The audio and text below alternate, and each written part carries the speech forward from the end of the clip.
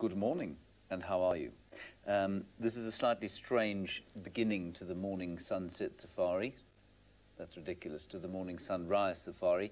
My name is James Hendry. I'm going to be talking to you from this, the migration control room down here. We are experiencing a few technical glitches at the moment, and so Scott, who's out in the field, and Taylor, who's out in the field in South Africa, will hopefully be talking to you very soon. This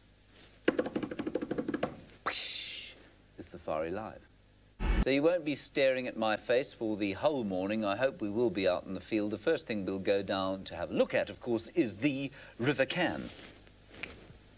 There we have the River Cam at Main North. Now remember, hashtag Safari Live is how you can ask us any questions you'd like to. We are coming to you from two locations here on the magnificence that is planet Earth. The Masai Mara, that is the Mara River you're looking at right now, and the Sabi Sand in South Africa. I'm not sure exactly what the technical glitches are. I'm never sure what the technical glitches are because my brain is too small. But I will be doing my very best to bring you uh, the most entertaining amount of biology that I can from here on the migration control, as will everybody be doing their level best to get you out into the field as soon as possible. So there are some rapids there at the main north crossing. Now we've had quite a lot of action here at these crossings over the last few days.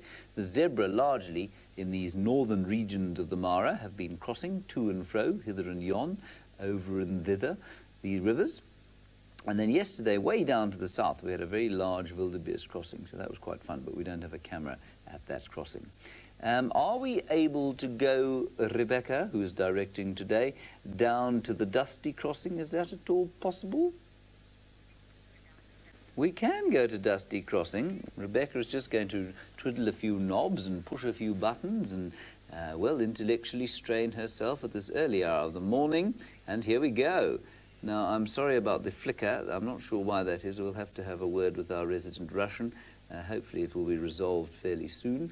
But what I wanted to show you, of course, is what we did not see yesterday at those crossings that we had near the south of the reserve.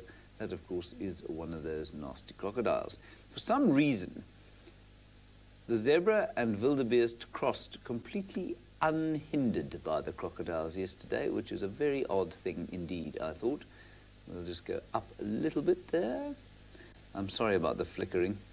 We will try and sort it out as soon as possible. And these crocs, of course, are now waiting very patiently for the migration herds to make their way up towards the north. So that's the story there. And Rebecca, do you think it would be possible for us to go to Main South? One moment, please, everybody. Rebecca is twiddling a few knobs. There we are.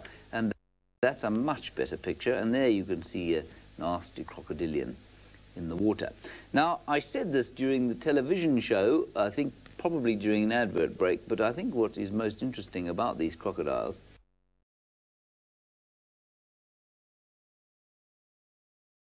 H. It may not have been, but it normally is Judy H. who put me right when I kept calling them a dinosaur of the deep.